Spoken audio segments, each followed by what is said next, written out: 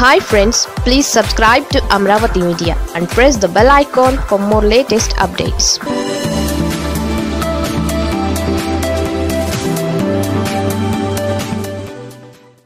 అవును టీడీపీ కోర్టుకు ఎందుకు వెళ్ళలేదు?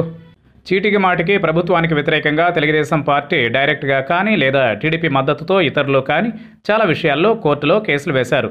ప్రభుత్వం తీసుకున్న ప్రతి నిర్ణయాన్ని ప్రజాహిత వాద్యమనో లేకపోతే మరో పేరుతోనో కోర్టుల్లో టీడీపీ ఛాలెంజ్లు చేస్తోంది. ఏపీ ప్రభుత్వానికి వ్యతిరేకంగా దాఖలైనన్ని కేసులు దేశంలో మరే రాష్ట్ర ప్రభుత్వానికి వ్యతిరేకంగా దాఖలు కాలేదని కోర్టే వ్యాఖ్యానించింది. మరి ఇలాంటి నేపథ్యంలో జగన్మోహన్ రెడ్డి ప్రభుత్వం జారీ చేసిన జీవో ఒకటికి వ్యతిరేకంగా టీడీపీ ఎందుకని కోర్టులో కేసు వేయలేదు? పైగా జీవో ఒకటికి వ్యతిరేకంగా కోర్టులో కేసు వేస్తానని ప్రకటించిన జనసేన నేత నాగబాబు కూడా ఇంతవరకు కేసు ఫైల్ చేయలేదు.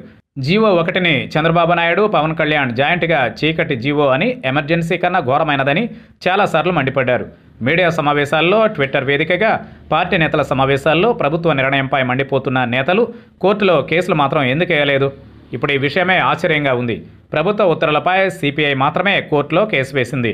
రాజధాని అమరావతి దర్యాప్తు సిట్ విచారణ ఇంగ్లీష్ మీడియంకు వ్యతిరేకంగా మూడు రాజధానులకు వ్యతిరేకంగా రాజధాని ప్రాంతంలో పేదలకు ఇళ్ళ పట్టాలు ఇవ్వడం లాంటి అనేక అంశాలపై కోర్టుల్లో టీడీపీ సుమారు వంద కేసులను వేసుంటుంది. టీడీపీ వేసిన కేసుల్లో నిజంగానే ప్రజాహితమైనవి ఎన్ని? రాజకీయంగా ప్రభుత్వాన్ని ఇరుకున పెట్టేవి ఎన్ని? ప్రభుత్వం తీసుకున్న నిర్ణయం వల్ల టీడీపీకి ఇబ్బందులు తప్పవని భయపడి వేసిన కేసులెన్ని అన్నవి గమనించాల్సిన అంశాలు. అయితే వీటన్నింటినీ పక్కన పెట్టేస్తే తాజాగా జీవో ఒకటికి వ్యతిరేకంగా మాత్రం ఇప్పటి వరకు కోర్టులో టీడీపీ కేసే వేయలేదు. ఒకవేళ కోర్టులో కేసు వేస్తే కోర్టులో ఎదురుదెబ్బ తప్పదని అర్థమైపోయిందా? కోర్టులో కేసు వేసిన తరువాత రాజకీయ డ్రామాలు సాధ్యం కాదని అనుకున్నదా?